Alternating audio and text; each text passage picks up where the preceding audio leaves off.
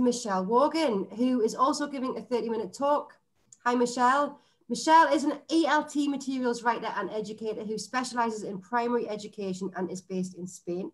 As well as writing materials for primary, pre-primary and lower secondary courses, she writes educational and blog content. She also frequently gives workshops at conferences and also runs a local teaching association. During Michelle's talk, um, we recommend watching it in speaker view. And as always, if you have any questions, please type them in the Q&A box. Hi, Michelle, how are you? Hi, Rachel. Thank you for that introduction. Take it away, please share your screen. Okay, great.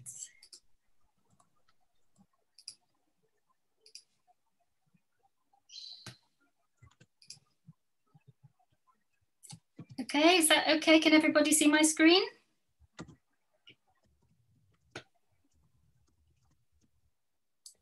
Okay, I'm just going to open the chat so I can see what people are saying.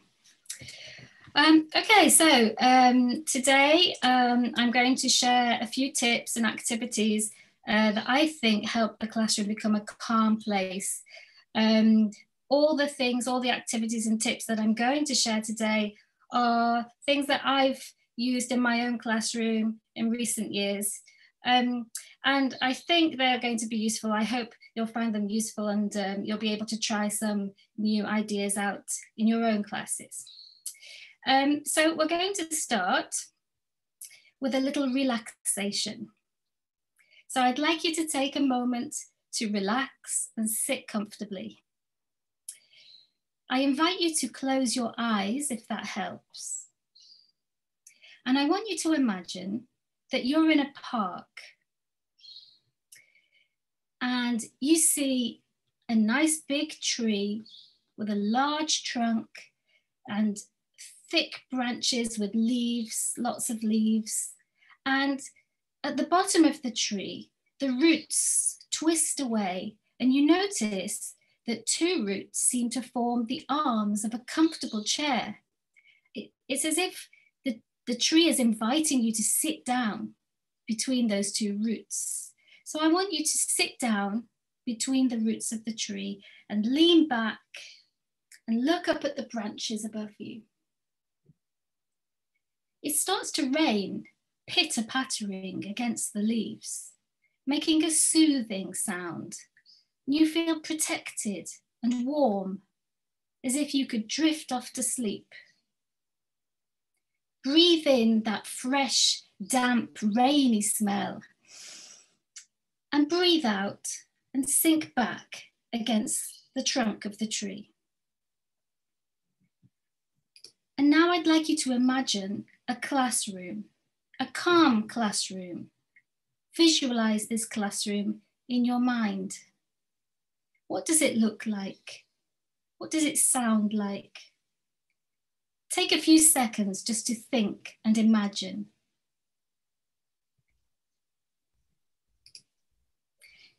Now open your eyes if you want to. um, did your classroom look like any of these pictures that here you can see on my screen? Did it look different? Whatever you imagine, this is a personal response. Um, hopefully you imagined your classroom with some of your students in it, not like the picture in the bottom right corner here that's empty. um, keeping a classroom of primary children calm isn't an easy task, but today we're going to look at a few tips and ideas that will help. So for me, a calm classroom has a few ingredients, and I've managed to fit these into the letters of the word calm. Um, so you can see these, these ingredients here. This, this is what we're going to look at today in this session. Now, how you begin the lesson can really affect how the rest of the lesson goes. It's when you need to get students focused. Um, so it's important to get the children settled and ready to learn.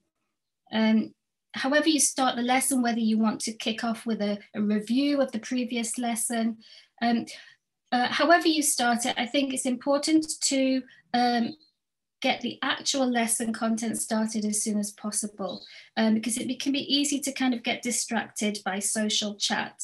Um, so I think the way, the best way to to keep some kind of control and keep the students calm is to is to have them uh, ready and and then just start uh, with your lesson. So um, in, in pre-COVID times, I would have suggested starting the lesson with circle time. Now, if you attended Elena's session just now, um, she shared some great ideas about circle time and um, for early years. Now, it's not just for young learners. I use circle time for early years, pre-primary and primary students too, um, because I think it's a nice way of getting everybody sitting down, looking at each other, um, sharing thoughts and ideas, and, and it creates a sense of community. You, know, you don't have to have them sitting on the floor. they can uh, form a circle with their chairs. Um, but I think it's, for me, if you have students sitting in a circle, they're less likely to become distracted and therefore misbehave than if they're looking at the back of someone's head if they're sitting in rows. Um, now, I am aware that with social distancing measures, this type of seating might not work. Um, so we need to come up with other ways of fomenting community, the community aspect, um, because it becomes harder to take the focus off the teacher now. Um, but whether you're teaching face-to-face -face or online, um, the beginning of the lesson is when you need to have everyone's attention and all the students need to be ready to start. Um, I just mentioned the word community um, and I think it's important whether you have a circle time or not, it's important to have certain periods of the lesson that are designated to whole class discussion. Um, so by discussion, I mean the chance to share ideas, to ask questions and listen to each other, um, try to get students into the habit of coming back together after any kind of individual work or pair work or group work um, to share uh, and feedback. Um, it can be difficult to do this if you're not in a circle, um, because if the stu students can't see each other if they're sitting in rows, but you could get around this by having a, um, like a, a, presentation space in the classroom where the student who's speaking has to stand facing the class or, or simply have them stand up maybe. And whatever your setup, it's really important to make sure that the rules are clear for behavior, um, whether it's circle time or any kind of open discussion. So uh, with this, I'm really uh, referring to turn taking at primary level because most of them will know how to sit still, uh, hopefully. Um, turn taking, what should students do if they want to speak? Um, you need to, to make this clear. Do they need to raise their hand, do something else? Um, you also need to ensure that students listen to each other when somebody else is speaking. And again, Elena in her session just before this one also shared some tips on this. Um, and finally, it's, it's really important to praise those children who are following the instructions, those children that are ready and waiting, rather than focusing on those that aren't. Now, as well as these whole class discussions and presentations, um, you'll need to provide some other types of activities, maybe some quieter individual activities or, or pair work or group work. And I'm going to call this table time. Um, ideally, there will be a different setup for this from circle time, um, but this obviously will depend on the seating that you have and it might not be so practical at the moment with the with social distancing restrictions. Um, so we've looked at the letter C of calm and now we're going to move on to the A and my keywords here are agency, autonomy and affectivity. The first one, agency, refers to giving children responsibility. Um, this helps them learn to develop important skills as well as helping with the classroom management. Um, and I, I, saw the plenary, uh, the opening plenary to this conference by Jake from StudyCat before, and he mentioned at the end giving students choice over what they do. And this is, um, I think, is really important. Um, you can give students choice on lots of different aspects of the lesson. So for example, you can allow them to choose what to do, which activities to do. Um, they can choose um, who to do it with, whether to do it individually, with a partner, in groups, so the dynamics of the activity. You can allow them to choose the quantity. So if you have, if you want them to do a, a, an exercise in their course book and it's there are 10 questions, maybe they don't need to do all 10 questions. Maybe they can choose to do five questions or seven questions. Um, and also the format is a, another way in which they can choose. So maybe they can choose to um, do the activity as a speaking task, or they can write their answers, or they can draw pictures. There are lots of ways in which you can offer choice. And these choices allow students to become more autonomous in their learning um, and helps them, them develop responsibility for their learning. Um, and it also provides a more affective learning environment. Um, but it's important to remember that they are children and the level of responsibility and autonomy that you give them will depend on their age, their level of maturity. And of course, within the same class, not all students will have the same level of maturity. But you can start off by giving them small choices to make, small decisions, and then gradually increase the importance.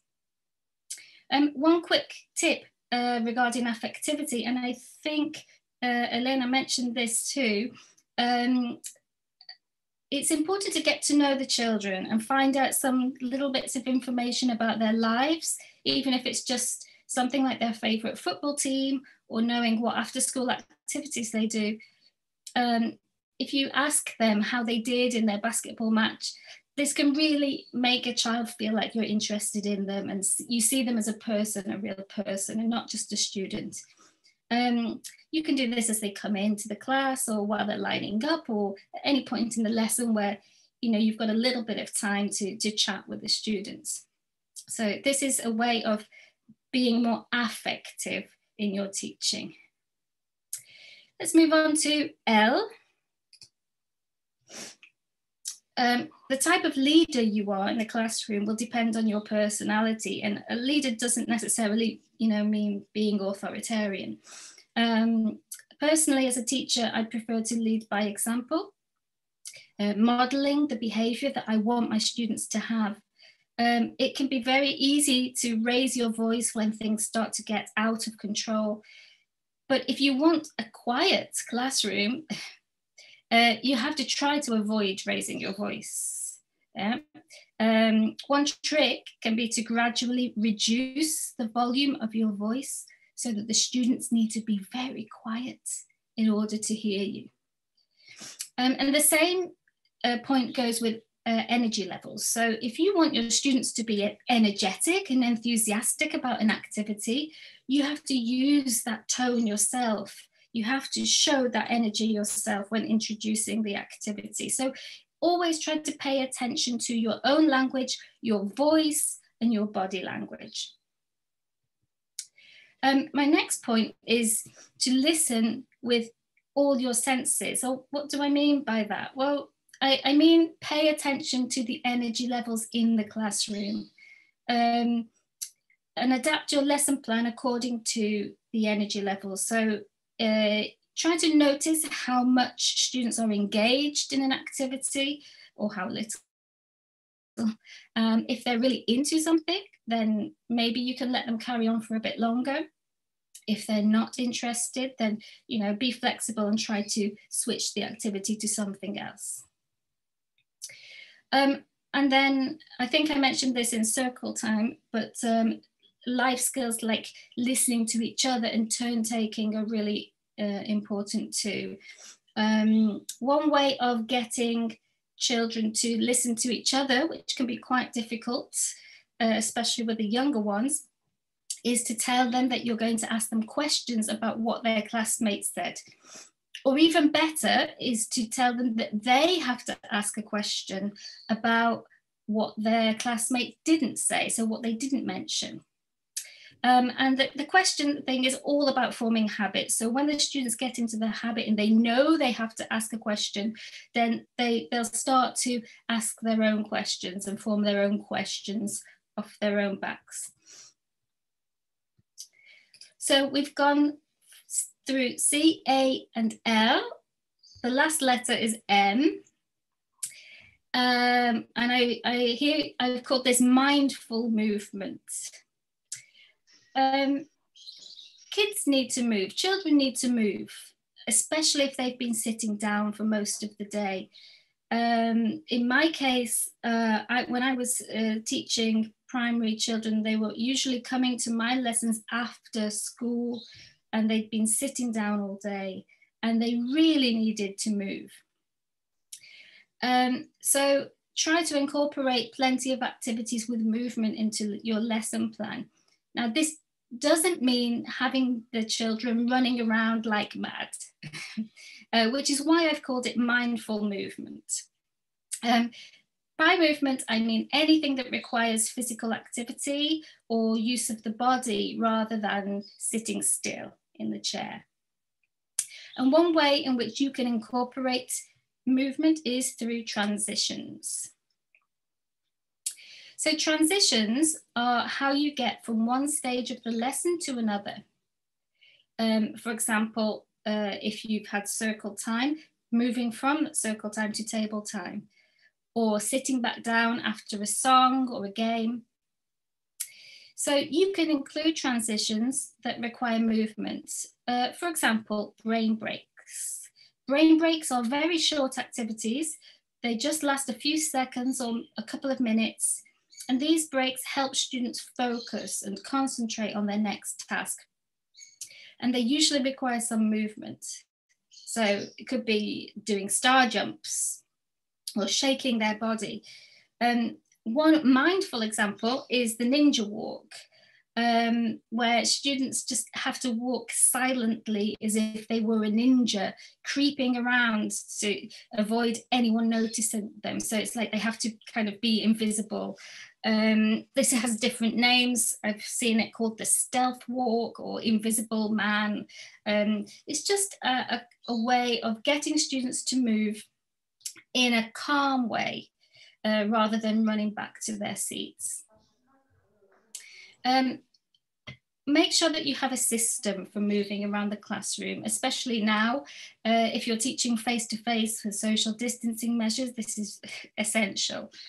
Um, younger children might need some visual cues like posters or signs or even just gestures um, to, to, to show them when they have to move. Um, you could color code tables or teams if they're sitting at individual desks, they can still have color codes. And then use flashcards to signal uh, whose turn it is to stand up and move. Uh, whatever your system, um, you always use the same one so that the children internalize it and they always know what to do. Um, and routines can help with this. So um, if you always start the lesson in the same way, or if you always do activities in a certain order, then the children know what to expect and they're more likely to do what is expected of them. Um, you can also use songs and music to signal transitions. So with early years, uh, there are lots of songs like the tidy up song or lining up song. Um, but with primary kids, primary children, you could use any piece of music. It could be a clip of one of their favorite pop songs, for example, um, or some kind of sound, sound effect. Uh, you could use a bell or a buzzer or, or just a, a sound effect um, that you can find on apps on your mobile phone or tablet or computer. Anything that, that provides some kind of acoustic signal. Okay. Um, I'm going to share a few activities that I like to use uh, in the primary classroom that have uh, some kind of movement. Um, first of all, we've got physical stories. Um, basically, physical stories just means having the children do actions as you read a story or tell a story. It doesn't have to be a story either. It can be any text from your course book or even a listening. Um, just have them stand up in their place and do the actions. You can uh, show them which actions to do, or they can make up their own actions. Um, guided imaginary trips. Um, with this activity, I stick flashcards around the classroom on the walls and I take the children around as if it was a, a school trip, an excursion. And it's a bit like a guided visualization. So they have to imagine um, what, what they're seeing really. Uh, but I'm using the flashcards as visual support. Um, themed yoga, um, another activity that Elena mentioned in her session earlier. Um, I love doing uh, themed yoga and you can find lots of resources online um, for uh, yoga for children where the poses are themed. Uh, so animals is the obvious one, but things like space or the seasons, uh, you can also find um, resources for those. I'm going to share a website with you at the end. And you don't need to know how to do yoga yourself, really. Um, however, you you should be prepared to do the poses, to model them as best you can. And I've used uh, yoga stories with children as young as four. Uh, you can see in this picture here, and throughout primary up to 12 years old. And then, of course, um, silent physical games. So any kind of game where they have to use their bodies or mime um, work well. Um, other mindful activities, I think these are mindful because they give children the time and space to explore and learn quietly, are any kind of drawing, arts and crafts, building activities, and sensory activities. So um, bringing things in for the children to explore with their senses or even taking them outside uh, to do the same. And I haven't got a lot of time left. So the last thing I wanted to discuss was breathing and relaxation activities. Now, at the beginning of this session, we did a little relaxation. And for this, I used a script. I adapted a script from, from this book here on the, that you can see on the screen, which is written by um, actually a friend of mine who's a yoga teacher. And um, she's self-published this book of scripts. Um, and you can use your um, relaxation scripts as a listening activity. Um, you could also get the students to move, like um, do yoga poses or, or just some kind of actions, or just sit there and listen. Um, you can write your own scripts quite easily using the vocabulary and the structures that you've been uh, going, uh, you've been covering in class. Um, so I, I just think these kind of activities are really nice. They really calm the children down um, and there's, there are a lot of benefits to them. Okay, I think I've got like one more minute. So I have a couple of essential tips. um, and uh, these are just things from my own experience that I wanted to share. Um, make sure you have a system for entering and leaving the classroom. It may sound obvious, but I have had students running into the classroom, slinging their backpacks on the floor and racing to get the best seat. Model how you expect the students to come in um, and make sure they do so. If they're older kids, I will invite them to go back outside and come back in in a more appropriate manner if necessary, because the way they enter really sets the tone for the rest of the lesson. And my last tip is to not blame yourself if it all goes wrong, because we all have bad days and teaching children can be very stressful. Um, by all means, reflect on, on what went wrong in, after a bad lesson. This is actually really useful. Uh, but at the end of the day, after the lesson, you need to wipe that slate clean and just go home or go to the next class um, with a with a positive mindset. Okay, so and always just remember that it's not your fault. I think this is really important. As a new teacher, an early career teacher, is very easy to, to get kind of, to take things personally as somebody's just, as Elena has just said in the chat box. Um, so I think that's uh, it for me. This is the final slide. I'm going to copy and paste these links um, in the chat box now. Um, and um, I'm going to have a look at your questions. So let me just share that in the chat box. Okay, you should have the links and the names of the, the publications there. So I'm going to stop sharing my screen um, so that I can see the questions better. Okay. So let's have a look. Okay, I'm starting from the bottom. Can we do breathing and relaxation activities for lower primary students? Yes, of course you can. I think you can use breathing and relaxation activities with any age, any age at all, with adults, with early years. Um, oh, sorry, you haven't got the links. Okay, I will, I think I probably didn't share it with everybody. Let me try again. There, I think you should have it now. Um, going back to the question, um, I with I, when I was teaching um, early years, I, I did quite quite a lot of um, yoga, and, and I had this um, this ball. Um, it's called a Hoberman sphere, I think. Um, shame I haven't got it now. And it, it's it's a it's a kind of mesh sphere that opens and closes like this. It expands, and um, I use this to to help with breathing, with deep breathing and the, the children loved using that to, to, to kind of breathe in and breathe out together. And while they're doing that, then you can do relaxation, use very simple relaxation scripts. So it can just be very simple sentences. Um, so yes, by all means, with lower primary, with upper primary, with um, early years, I think you can do it with, with all ages. Um, Same says, we have a long curriculum to study and 40 students in my class. I had to get them quiet and energetic at the same time. well, at the same time, it's quite, quite tricky, um, but I, I understand um, 40 students, it's very difficult to, to get them quiet, I would, I would imagine. Um, I think you need to use, the, you can use the same techniques, but um, uh, obviously classroom management with large classes is a bit different. Um, and you, you, you, mentioned having a long curriculum to study. I guess that means you have a lot of content to teach. Um, I don't think you need to do the activities that I've shared today instead of your, uh, your curriculum. You can use it with your curriculum and just adapt some of your activities. That would be my, my advice. I'm going to have a look at the questions again.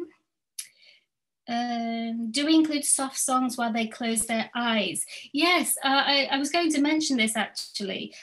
Um, playing some background music it can really help. Some um, calming music, maybe some classical music. Um, it can really help, I think, with the relaxation. Um, and it also stops it stops uh, students from getting distracted by any other sounds or noises that they might hear from the corridor, from another class. Uh, so yes, definitely.